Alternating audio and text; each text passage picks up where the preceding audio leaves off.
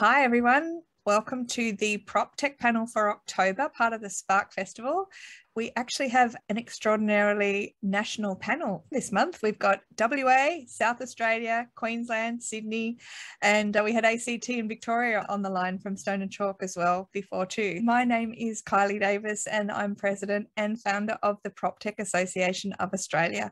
And it's great to see so many of you here today for the PropTech Association's PropTech panel uh, on home ownership and PropTech, which is part of the Spark Festival. And it's great to see so many people from all over Australia joining us and even from Kuala Lumpur, which is fantastic.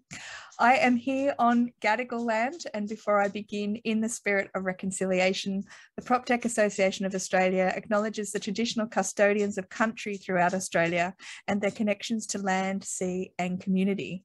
We pay our respects to elders past, present, and emerging, and extend that respect to Aboriginal and Torres Strait Islanders peoples joining us here today. And I'd especially like to thank our sponsors, Stone and Chalk, who have made all of these panels possible over the last um, 18 months. And for those of you who don't know, Stone and Chalk, it was founded as a not-for-profit in Sydney in 2015 to help fintech startups commercialize and grow. And from the original 40 startups in 2015, it now has over 200 startups in Sydney, Melbourne, and Adelaide, covering all areas of emerging technology, including a growing prop tech cohort. And there's currently around 30 prop techs that call Stone and Chalk home, and they are doing some awesome work. And I'd also like to thank the PropTech Association of Australia Foundation partners. They are Ashurst Lawyers, Macquarie Bank, PEXA, the Real Estate Institute of WA, Forbury, and Web IT List Once. So let's get on with the webinar. Now, residential property is a $9 trillion asset class. It is Australia's favourite and most valuable way of building wealth. But building and owning a home is a lot of work, especially if you want to make improvements, renovate, or sell. And in true COVID style, there may be building noise going on in the background of this webinar because my bathroom is being renovated and three houses around me of my neighbours are also being rebuilt right now. So I'll try to keep the noise down. But we see a new era of prop techs, technology businesses that specialize in property that are making life significantly easier for homeowners who want to build or upgrade. And all of our panelists were winners in the first annual Prop Tech Awards held by Prop Tech Association back in May. So you really are meeting some of the very cutting edge and best in market prop tech. Now, our first guest is Tom Young, founder of uDrew, a prop tech which streamlines council planning approvals for standard property updates and makes it faster and easier to create compliant designs based on the latest council regulations. And he's joining us here from Perth. So welcome, Tom. Everyone, and thank you, Carly. It's great to have you on the panel.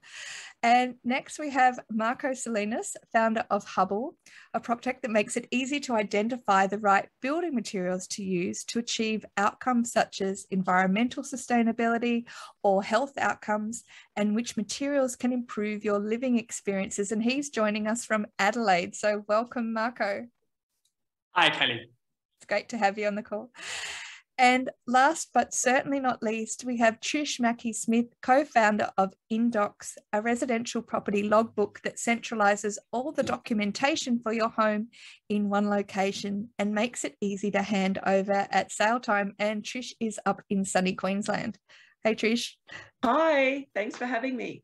We were just saying before the call that this is really COVID will not stop us. We are definitely. Uh, I'm here in Sydney, so we've definitely got all the all the boundaries covered, and our Stone and Chalk team backstaging us from both the ACT and Victoria.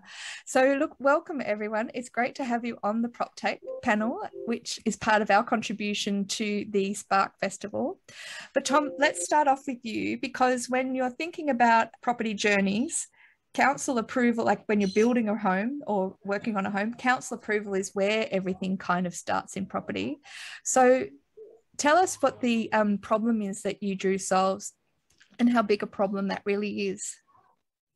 Yeah, maybe I'm being biased. I came from the building industry, so had to, had to deal with a lot of sort of council approval side of things, mainly on the engineering site side. But um, also as someone who has done renovations on my house, it's just systemic. It sucks for the industry and it's really hard for homeowners who might not necessarily have that background to even just get through the process. So it's very much inspired by actual events. It affects all of us, other we've all gone through the approval process ourselves or someone very close has. And it's just such a circular and frustrating process for everyone from the industry to homeowners, even for the governments. It's expensive, it's unreliable, and it's very time consuming and subjective. So we are streamlining that whole process and just making it easier and more affordable for everyone. Just for small structures, there's about 800,000 of those um, submitted per annum in Australia, and they take up about 60% of the planning department's time as well. So we're starting in that area to just filter out what we can do and just make it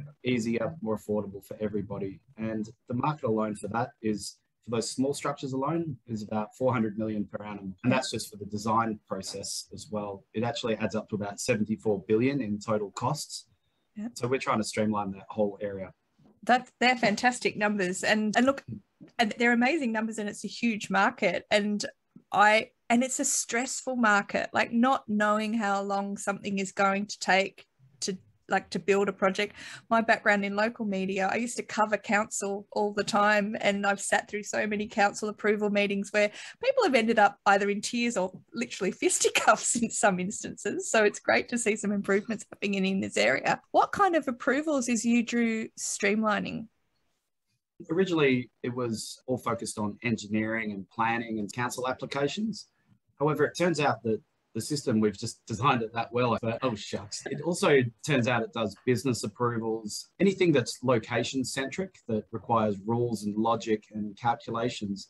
So the other month, we just thought we'd give it a go and we just put in a few different types of approvals. And yeah, it spits out business approvals straight away. It could also potentially do drone permit approvals, event planning approvals, anything that's tied into location. But main focus has always been on the building and planning and the engineering side of things. And so is it, so you said before that there's about 60% of council approval, like that are these small scale ones. And they're obviously not like major rebuilds, but fences, pools, like what sort of work?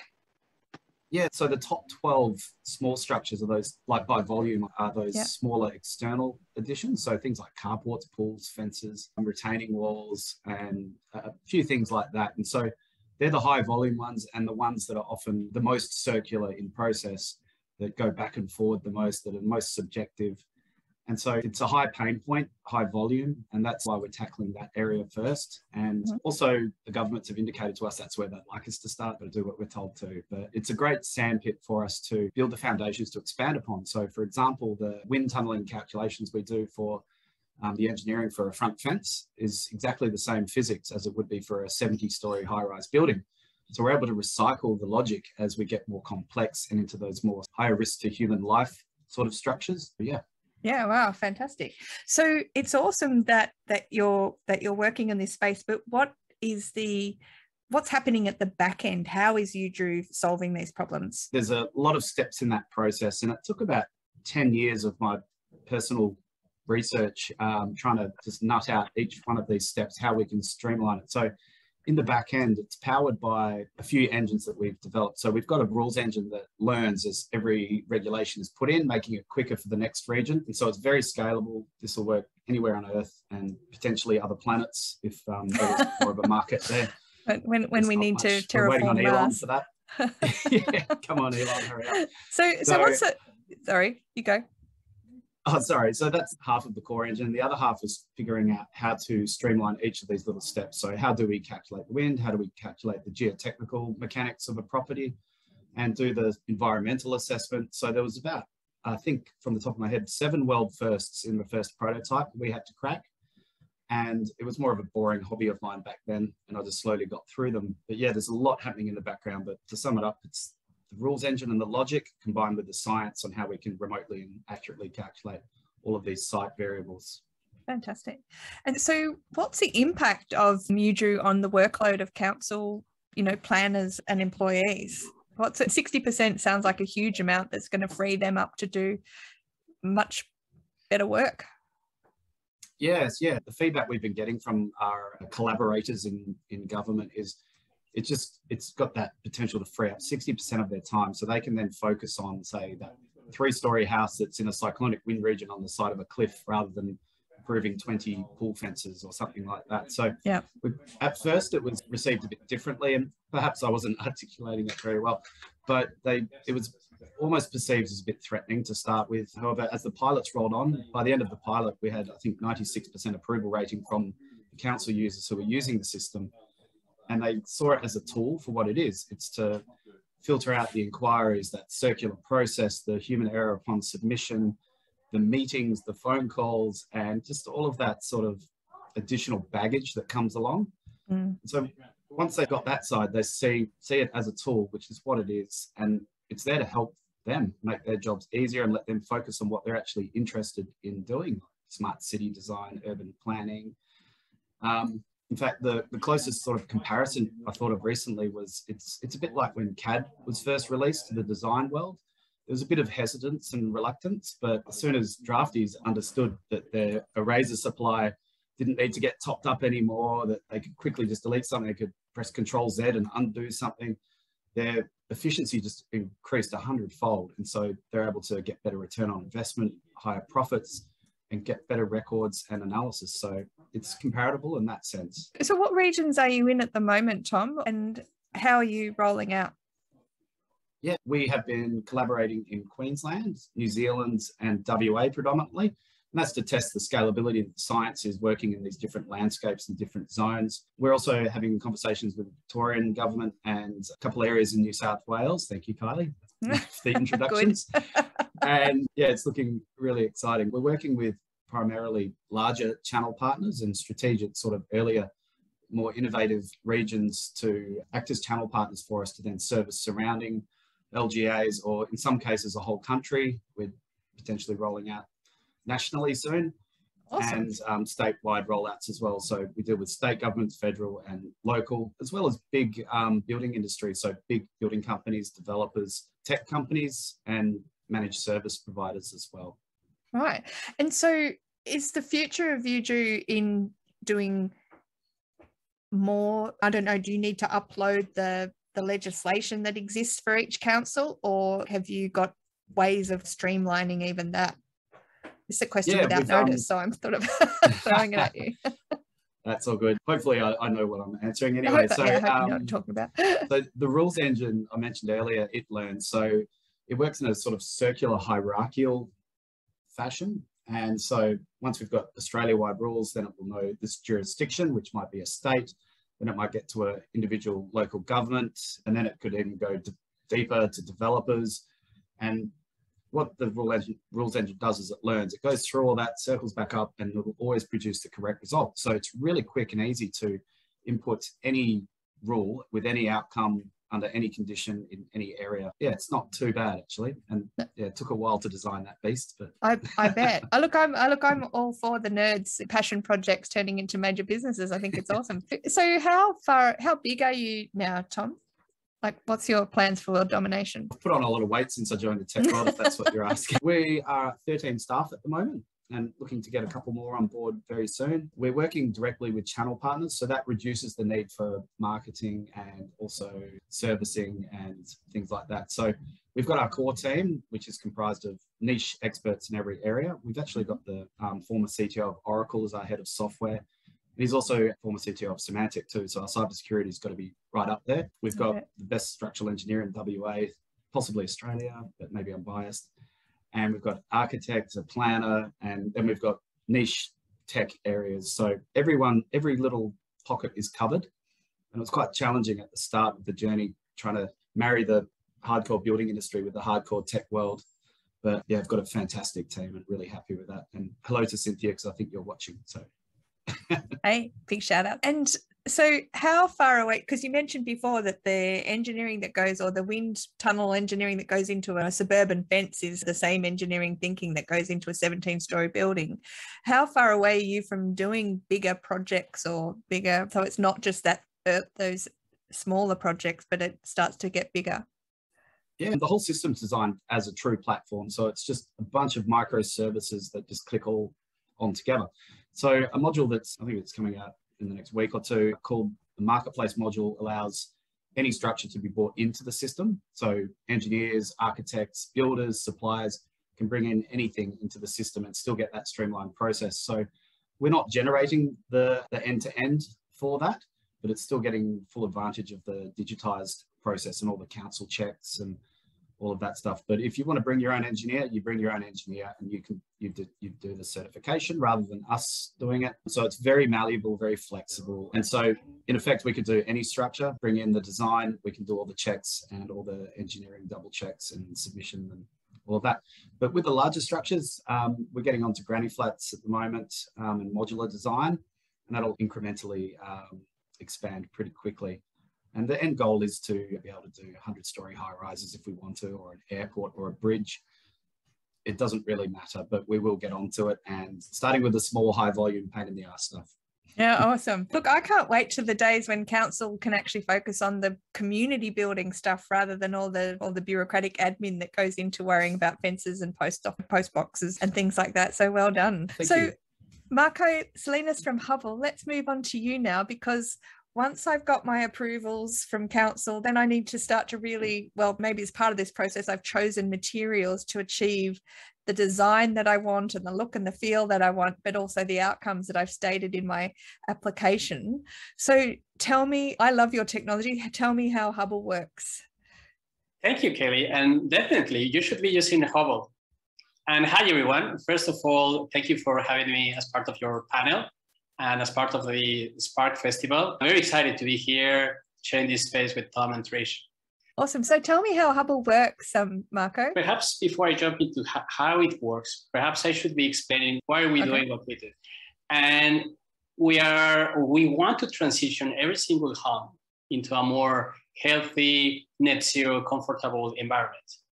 And Hubble technically what is is a platform that helps you understand what's happening at your place, at your home, and we can explain you, identify the benefits of green solutions. Like for example, if you are planning on double glazing your house, then what could be the potential benefit? In a very simple way So, like for example what could be the potential temperature? What's level of comfort? Energy savings? Carbon footprint? And, and things that anyone can understand. Or perhaps you would like to experience other other experiences like for example allergy free environments for your house. So how important is material selection in achieving a livable outcome for your home? Because at the moment we tend to just choose having just been through a renovation you go for the look that you're looking for and then you choose based on the price you can afford and then it's that's i would say is, is fundamental. The theory that we adopted at, at hubble is that uh, healthy living sustainable environments, they, it's composed of three different pillars, being the first one being the building science, the design, the materials you use. Then the second pillar, the way in which we see it is smart energy, clean energy. And then the, the last one, perhaps even in the same way important, the social and human behavior. And the material selection goes to that first pillar alongside with the design. And at the end of the day, we would like to see, or you would like to see as your home, uh, very uh, strong, long-lasting materials that will provide a very healthy and safe environment to yourself and, and to your family. And it's fundamental given that these materials, alongside with the design, will impact significantly on how do you feel, the temperature, or how well ventilated the space is. Like many people perhaps can uh, I don't know. I, was having a, a, chat with the, the the CSIRO staff, and they were we were discussing how having really well ventilated environments is. Many people might have like headaches at night, and and they might be attributing this to something else, like perhaps to work or a health condition. But they don't know that it's perhaps even because of the, the environment uh, and, and the selection and the design of the house. And that's where we try and trying to make. So, what sort of outcomes can I aspire to achieve if I'm using Hubble? Environment, health. Are there heating, warmth? What else? What else? Well, I would say like the, the perhaps the most important one is to understand what's happening. Like the way in which, like I always like to pitch Hubble is more like an ed- educational type of software, where first of all we're trying to show you what's happening at your home, so you can get a perhaps a better feeling an understanding of the different things that you might have to consider to have a healthy environment. And of course, once you have perhaps that idea, then the, the outcome will be to improve it. So then we tell you recommendations or suggestions on how to improve it. So you don't have to be an expert in this topic to actually go and take your home to the next level. And ultimately, we would like to introduce you to the service providers or the materials that are making a difference in this industry. So that they can just go immediately and start applying these concepts to your home. Awesome. So I love that you're also doing the introduction as well. Who's your main client base? Is it those material providers or who are your clients? We, we just started. We spun out last year from a mid-sized company in the consultancy sector for energy efficiency. We're moving very fast. Since then, we were able to help build 10-star house here in Adelaide, perhaps the most energy efficient house in, in the planet. Wow. Uh, then we release a beta version of our software to architects and builder and builders. A few of our clients are builders in Northern Territory. We're currently prospecting a, a really important builder in Western Australia, in Adelaide. And we recently won a feasibility study with government so we can take our technology to social housing. So then the most vulnerable communities can take advantage of what we're doing. Mm-hmm. But you're absolutely right. Ultimately, the ones that we're helping the most right now are those companies that are promoting healthy living with materials. And we got a few clients. Uh, we started with what we consider perhaps the most difficult to explain, which is glazing uh, and windows. We are working with a few Windows companies here in South Australia. To give an example, uh, one of them is Australian Window Solutions, which we are partnering with. We are also in partnering with in ACT and Victoria with Ultimate Windows that they are being featured in a TV show in Channel 9 at the moment, and, and a few other providers. We are also looking into home automation with, with a few partners, air tightness as well. So the, the idea is to show and explain what different components you should be like thinking of when you are planning on even about uh, you're planning on buying a house or renovating or building a new house from scratch. So, so I, I love this idea because I didn't know you could actually have a house that was 10 stars. Like I, I don't know I, I guess I figured five might be the max, but it, it's great that you're, you're going for 10. What, what's happening at the back end of Hubble to make all of this possible? We use, first of all, the team, which is perhaps amazing, a team composed of experts in energy efficiency. But at the end of the day, what we're trying to do is to get their knowledge and trying to make it digital. And we're taking mm-hmm. it to, to a, a digital, digital interactive tool with the use of machine learning and artificial intelligence. So technically what we do, we use millions of previous record of energy efficiency assessments. And what we're trying to do is to estimate really quick without having or without having to be an expert. And we are giving you a very close estimate on how your house performs in order to provide an advice on how to improve it. Awesome, awesome. So I think, so Marco, I think you and Tom need to get together so that anything that's built with using the Hubble. And and, and to be to be honest, actually, we really did. Oh, good. Uh, we had to catch up yesterday, and yeah, we're really planning. We were talking about APIs and you know how to integrate systems. I, I, love it. So, how old is Hubble? How big are you? Give us a little bit of um, background on the size of the business. We just started last year, in July, midway of the pandemic, with all the challenges that this throws. It has been an amazing experience. We're moving very fast. The team is still small, we, the, we only got uh, one intern, but the team is amazing, uh, very high caliber in terms of technology and data science, 10 or 15 years exper- of experience in energy efficiency and building design. My co-founder, Jim, he sits in different boards in, in the residential industry. And yeah, I can't wait what, what, what, what the future is, is, is, having, is going for us. Oh, that sounds awesome. So, look, tell me, I love this story, but tell me why your prop tech is called Hubble. It, it started with a very perhaps famous uh, astronomer. That's actually his last name. He contributed to one of the uh, most important telescopes. And energy efficiency is, is, measured in stars. When we started thinking on Hubble, we, we envisioned a tool that helps you find more stars or a star of eight points. Energy efficiency goes in a rating from one to 10 here in Australia. And we consider that people should be targeting eight, eight stars. That should be the goal or a little bit more than eight stars in such a way that it's, it's feasible from an economic way, but at the same time, they're contributing to climate change, healthy living. That's the reason why our logo is a telescope and having a star of points in the middle. I love it because we all know we've all heard of the Hubble telescope. So Hubble, the prop tech, is actually showing you how to turn your house into into 10 stars or how to find more stars for your house.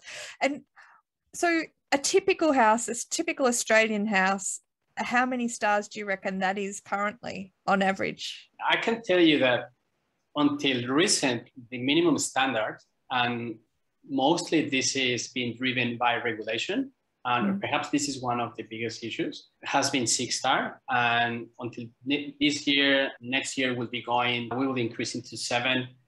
Minimum standard will be increasing to seven stars. I we still believe that is not enough. People should be looking eight stars. And the reason we are actually we can say this, we conducted a research and we found that all the benefit, you start getting benefits when you reach seven stars. So anything below seven star, you are it's, it's still perhaps considered uncomfortable and, and waste to the environment and the energy consumption. So anyone that is perhaps that could be the takeaway. If you're planning on renovating or building a new house, and you would like to know what should be targeting, that should be eight stars. It should be eight stars.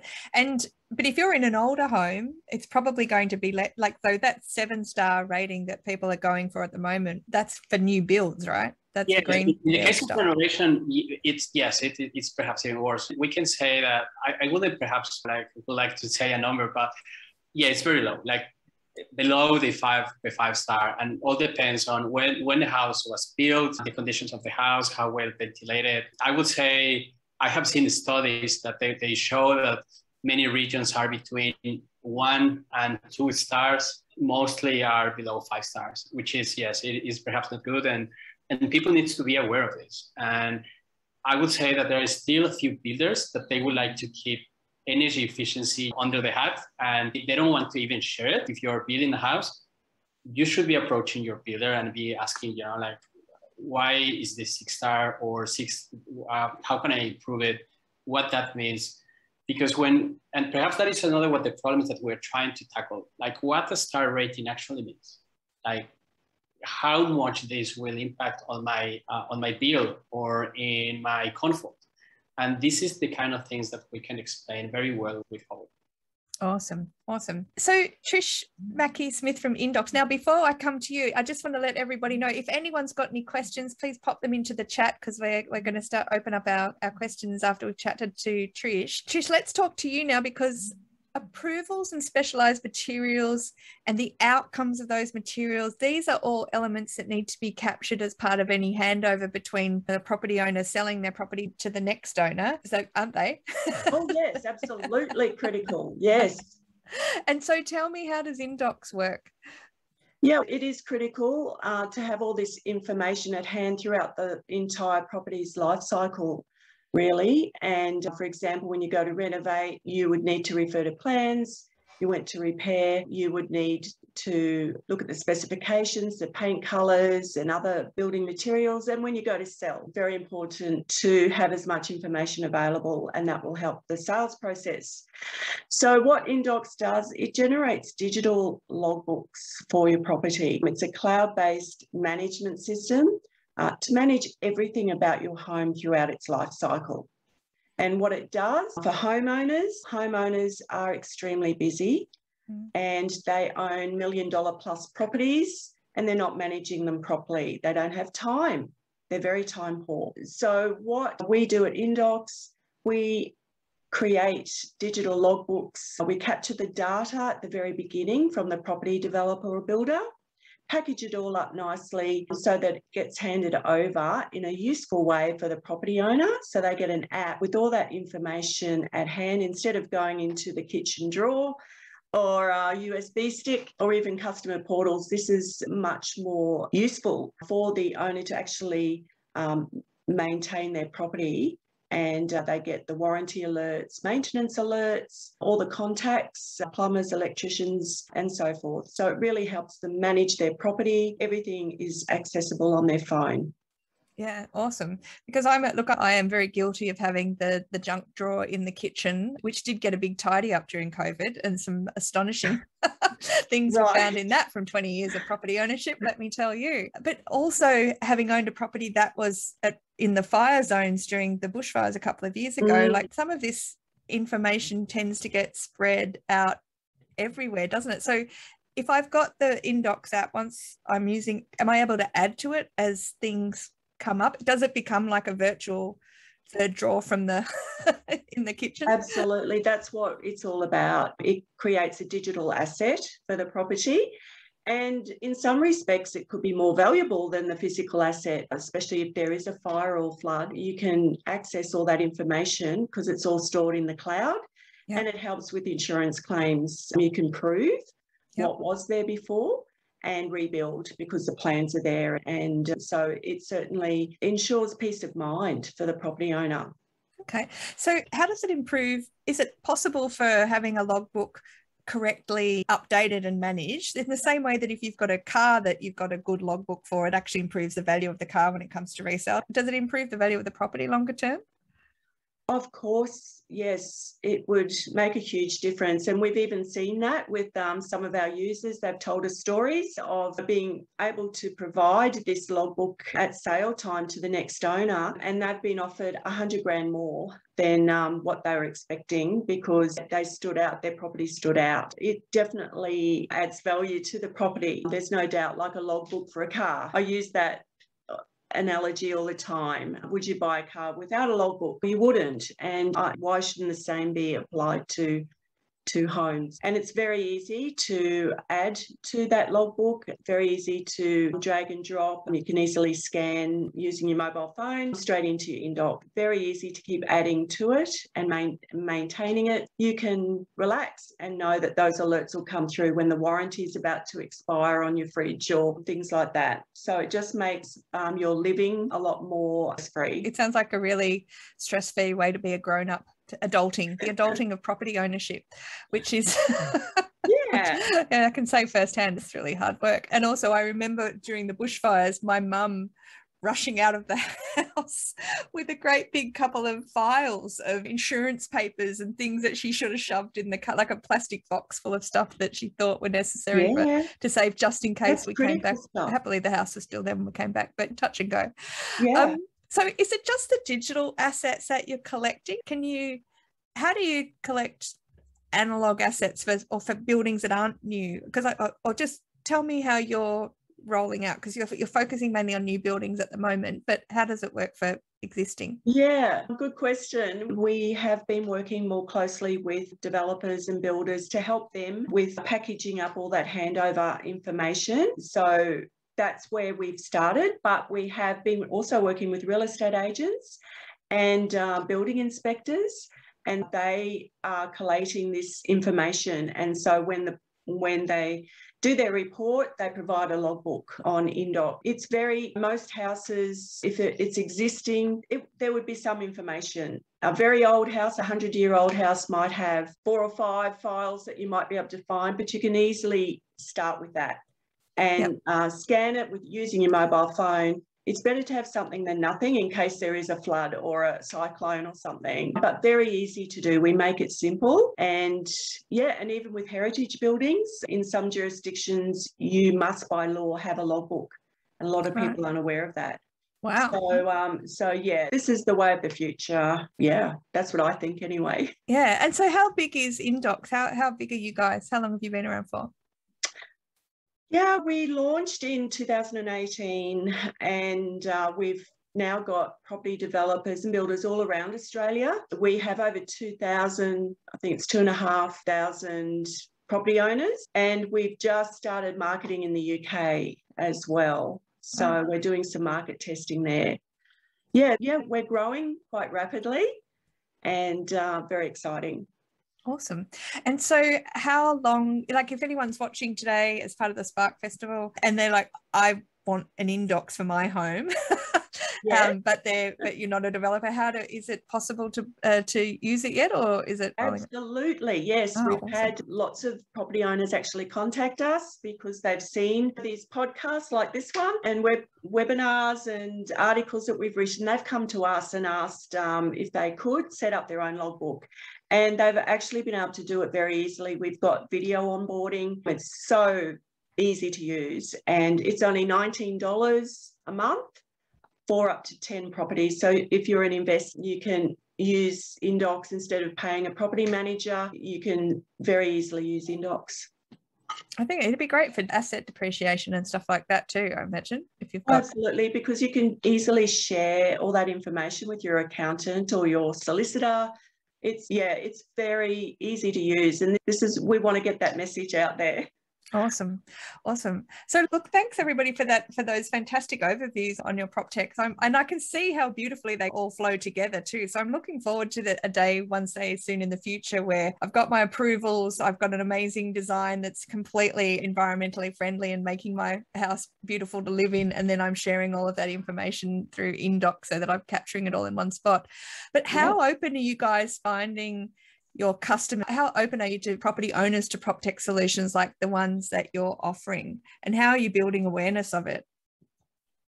Who wants to go first? Tom? Ah okay. Oh we're very open to it and we love hearing from property owners about how we can help. Initially it was a bit harder. It took until about 2018 and before then i'd be laughed out of about nine out of ten meetings just people telling me it's too hard it's not going to work, even despite the fact I would design something in front of them and it would generate all the drawings. So it was just too much too quickly to start yeah. with. But I find that COVID, um, as horrible as it's been, has really um, accelerated the digital open mindedness, I suppose, yeah. if that's even a word. And people are now embracing it much more than they would have before. Mm-hmm. So, as far as making people aware of what we're doing, we've been a startup most of our journey and very low budgets. So, we've been reliant on word of mouth and innovators from certain companies who get it and support us and help us get the vision out there. And yeah, that's mainly what we've been doing. And we work with channel partners as well, who then get it out to the broader community, such as local councils embedding it directly in their system or suppliers who might have a white label version on their website to help someone pick products from their catalog and incorporate it into the design and generate things from that to engineers who use it for other purposes. And yeah, there's lots of other little uses and cool channel awesome. partners we're working with. Awesome. And Marco, if people are curious about Hubble and they're looking to use it, how do they, how, what kind of interest have you had? I will say the, the interest has been fantastic. We receive a huge pull from suppliers, vendors, retailers. And yes, in the case you're renovating, anyone feel free to reach out we're still not targeting homeowners as yet because we're still validating our uh, user experience and perhaps our tool is still a little bit too technical. But we have been helping people that they hear about Hubble, they come and uh, they're doing a renovation, a new build. And most of the times we're happy to help them. In our case, and perhaps Pia is, is from, from my team, perhaps he, she's listening. She will know that from now on then we get a request and we, the team actually gets this feeling of trying to help and suggest different things that they can do. I'm happy to continue doing that. However, our main target right now, and perhaps this is more from a, strategy perspective, we are helping more businesses explain the benefits of their products. And, and that's perhaps where Hubble sits right now. We are helping Windows companies, particularly. We are also helping home smart home automation companies. We are helping companies providing other services. And if any other company that things that they have a product or service with a high impact in comfort or energy efficiency or in the experience of the house, more than happy to start like helping them convey the correct messages to their customers. Awesome. And so, look, all three of you guys are quite a young prop techs and you're scaling quite quickly. What have your biggest challenges been to date? What, what's your biggest challenge been, Trish? I think it's getting the market fit for our messaging is a challenge, what has been, and yeah, educating the public about why they need a logbook. A property logbook is something that's it's a concept that's known in the UK and mm-hmm. the USA, but it's very new in Australia. So just yeah, educating and getting the message out there of the benefits of, of having a property logbook. That's been a major challenge, but I think we're yeah, we're starting to get it right. So how, so how is Inndox different to just say a shared drive, like uploading everything to a shared drive? It's interactive and it, it um, automates alerts for warranties, for example, yep. and maintenance, and plus has all the contacts in there. So you might get a, for example, a reminder for a termite inspection, and then it has the tradesperson there that you just click on to book it in. So it's all, it's very different to a Dropbox or, or anything else out there. Got it. And look, Tom, we've actually had a follow up question based on your answer and your comment about being laughed out of the room. What's been the biggest blocker that each of you guys have experienced in discussing the opportunities with large industry partners? Has it been a lack of interest? Has it been lack of understanding or lack of innovative mindset? What's the what's been the biggest blocker with industry partners? Yeah, Marco, I'd say it's yep. risk aversion. Oh, yeah. sorry. there you go. No, there you go. Marco, do you want to go? sorry to interrupt, but I'd definitely say it's the uh, risk aversion. And it's a classic sort of um, startup um, catch 22s or multiple catch 22s. You need the validation to prove out the innovation, but no one's willing to be the first. You can't get funding until you've got a client. You can't get a client until you've got a product. You can't get a product until you get a client. It's just a big bloody circular contradiction. And I guess that was my biggest challenge is it's the seesaw of, you know, build out the product and then have to get to this point, get the client on board, get the funding and just going around. And so getting the first few um, pilots started was definitely the hardest because we came in there with zero track record, saying we could do something that most people thought was impossible and too challenging. And so it's that general risk aversion of everyone wants innovation, but no one wants to be the first. Everyone wants everything to be fixed, but no one wants to change. Change makers. Yeah. yeah. Marco, what about you? What have you experienced? What has your, been your biggest blocker? There have been a few, I would say. Perhaps the, the first one that brought a little bit of adversity was the pandemic, of course. Hopefully started midway of the pandemic with a lot of uncertainty with that provided a different environment to the actual startups if it's even difficult as a regular startup just just imagine midway the, the pandemic. So uh, I would say that, that is, that is one. The second one, I would say perhaps the, the response time. That is something that I was discussing yesterday with Tom. When we approach a big organization, usually the sales cycle is, is very is quite lengthy slow. and very slow. And as a startup, many times you don't have the time to you, you're expecting a, a really quick response. They you're expecting uh, a really good early adopter that understands your stage and wants to move very quick with you. That's the idea. Uh, and something that I found, and this is perhaps more particularly to South Australia, is that the the South Australian market usually is not a very good early adopter, like when the, in terms of technology. So most of our first pilots, they, they happen with companies interstate, like in Victoria, New South Wales, Western Australia. And it was very difficult to uh, penetrate the South Australian market, even though it's very local and we know the, the industry. But yes, there, there is this a little bit of resistance, which, by the way, in the other side is quite good because once you understand and you know how to penetrate the South Australian market, that's a, a huge milestone that you can replicate in other states. it has its uh, cons and pros at the same time. Awesome. Now, look, just to wrap up, final question for everybody, because I'm sure we could talk about this all day. But if there was one person or one contact you could make as a result of being part of this panel today that could radically change your business, who would that be, or, or what type of person would that be? Tom, I'm going to kick off with you.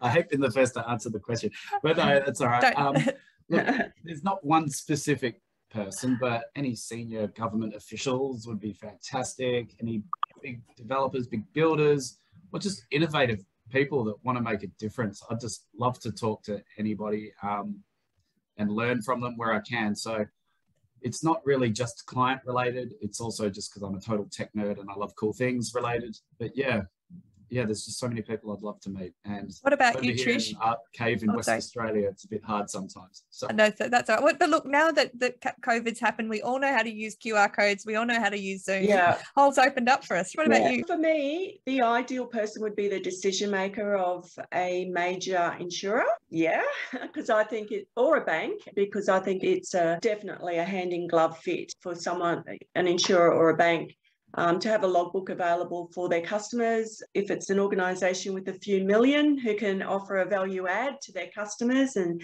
stay relevant for the whole life of the property, come and talk to me. Would love to have a chat. awesome.